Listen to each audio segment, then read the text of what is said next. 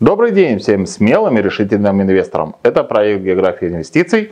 Я сразу хочу вас предупредить о том, что спекуляция акциями, да и вообще инвестиции – это очень рисковое занятие.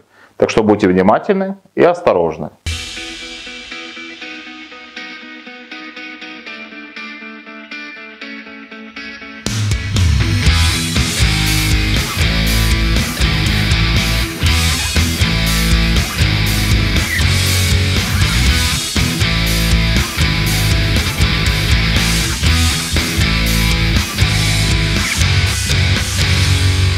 На фондовом рынке, кроме акций и облигаций, еще существует множество инструментов. И некоторые инвесторы не хотят вкладывать деньги в биржевые ПИФы или ETF фонды.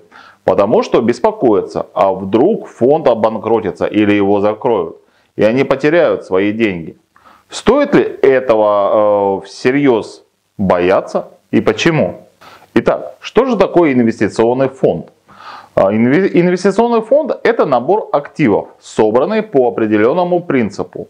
Это может быть фонд акций крупных американских компаний, согласно индексу S&P 500, или фонд золота. На самом деле фонд не может обанкротиться. Это портфель для ценных бумаг или товаров. У него нет долговых обязательств и нет кредитного риска.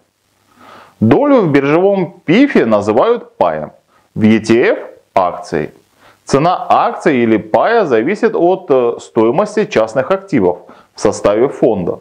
Если активы дорожают, а, доля в фонде тоже дорожает.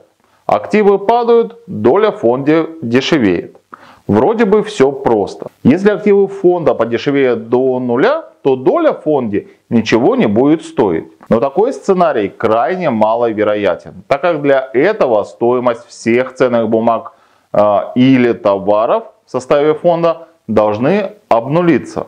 Может быть и такой сценарий, что ETF, провайдер или управляющая компания, то есть а, создатели фонда могут потерять лицензию, обанкротиться или перестать работать. Однако ETF, провайдер или управляющая компания не владеют активами фонда.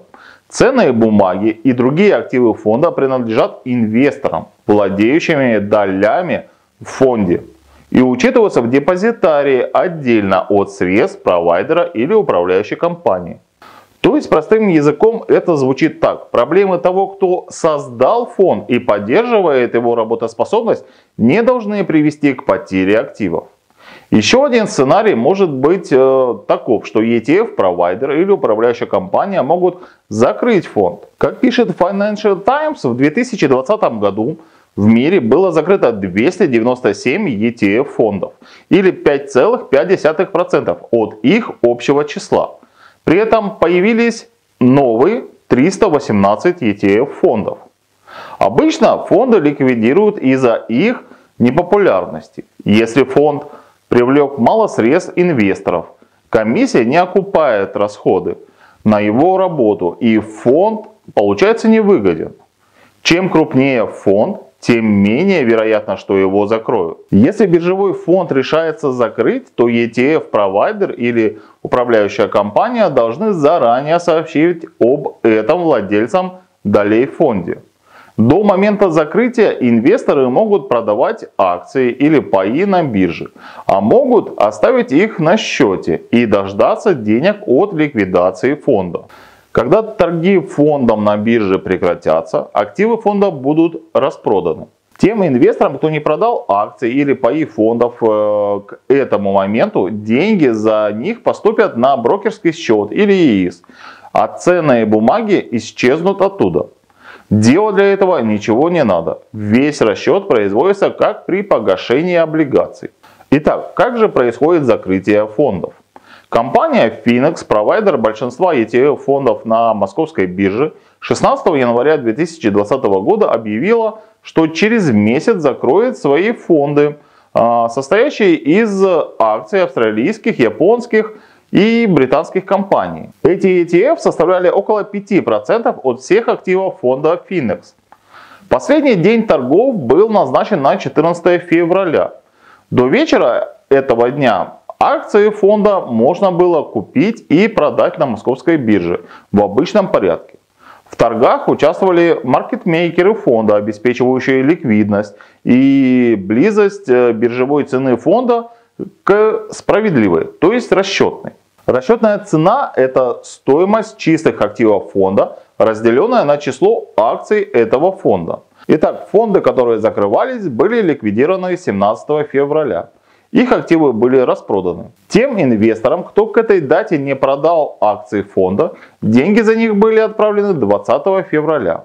Скорость зачисления денег на брокерский счет или ИИС э, зависела от брокеров, но деньги в любом случае не потерялись. Но стоит понимать, что закрытие фонда может привести к некоторым неудобствам. Допустим, если фонд торгуется на российской бирже, закрывается менее чем через 3 э, года с даты, когда инвестор купил его акции или паи, инвестор может потерять вычет за долгосрочное владение. Если продажа или погашение долей в фонде принесла доход, придется оплатить НДФЛ. Если речь не про ИИС с вычетом Б. Если фонд закроют в кризис, когда активы в нем подешевели, это может привести к финансовым убыткам. Что, конечно, очень неприятно. Но инвестор может вложить освободившиеся деньги в похожий фонд, если считает, что рынок восстановится. А зафиксированный убыток снизит налоговую базу от прибыльных сделок.